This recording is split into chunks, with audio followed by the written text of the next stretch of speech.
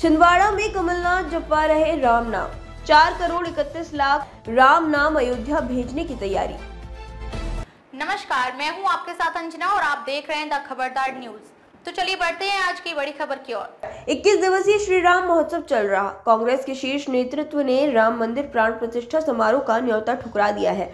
मगर कांग्रेस के वरिष्ठ नेता और मध्य प्रदेश के पूर्व मुख्यमंत्री कमलनाथ छिंदवाड़ा से चार करोड़ इकतीस लाख राम नाम लिखे पत्रक को अयोध्या भेजने की तैयारी में है।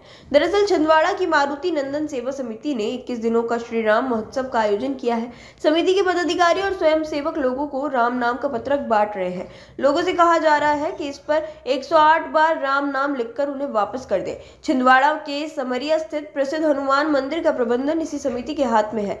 कमलनाथ और उनके सांसद बेटे नकुलनाथ इस समिति के संरक्षक है। मंदिर भी कमलनाथ ने ही बनवाया। करवाया है। समिति की कोशिश है कि राम नाम के इस रिकॉर्ड संग्रह को प्राण प्रतिष्ठा उत्सव के दौरान ही अयोध्या पहुँचाया जाए। एक्सपर्ट का कहना है कि कमलनाथ इसके ज़रिए क्या हासिल करना चाहते हैं, ये वही बेहतर बता सकते हैं। लेकिन मौजूदा हालात को देखते हुए यह आयोजन कांग्रेस की रीति नीति से मेल नहीं खा रहा है। वही समिति के पदाधिकारियों का कहना है कि ये कोई राजनीतिक आयोजन नहीं है। राम सबके हैं। इस आयोजन को सियासी चश्मे से नहीं देखा जाना चाहिए। तीन चरणों में श्री राम महोत्सव का आयोजन।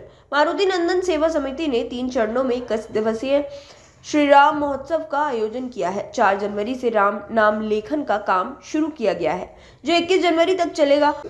कांग्रेस के धर्मस्व प्रकोष्ठ के जिला अध्यक्ष और मारुति नंदन सेवा समिति के संयोजक आनंद बख्शी ने कहा, अयोध्या में राम मंदिर सनातन धर्म की आस्था का प्रतीक है। राम हिंदुओं के आदर्श है।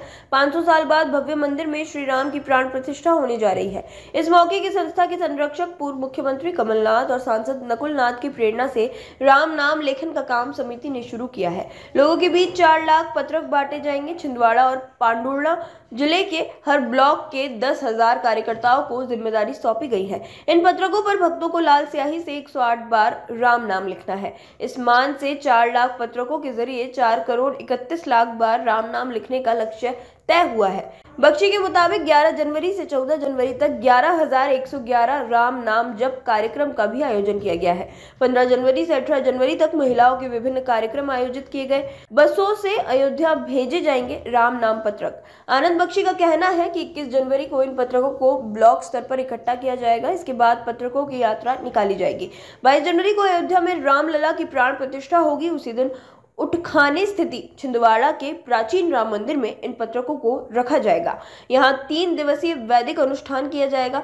बख्शी के मुताबिक सरकार ने 22 जनवरी को गैर आमंत्रित भक्तों के लिए अयोध्या में प्रवेश की मनाही की है।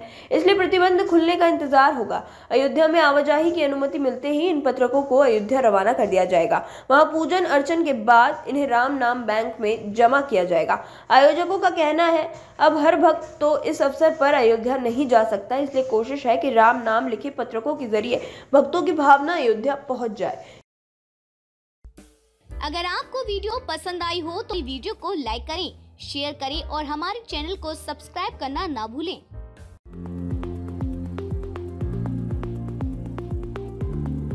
अपने सपनों का घर बना रहे हैं। एपी कंस्ट्रक्शन सॉल्यूशंस आपके लिए तैयार है।